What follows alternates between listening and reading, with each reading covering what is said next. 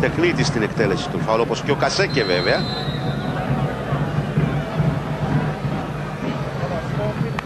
Εκτελεί ο Λευ- ε, Ελευθερίου, η μπάλα στα δίχτυα. Ε, είναι παιχνίδι Ελευθερίου απόψε.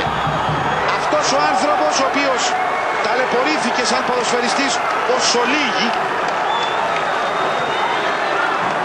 σκόπισε δίνει μια άλλη αρχή στην ομάδα του. Τουλάχιστον έτσι δείχνουν τα πράγματα.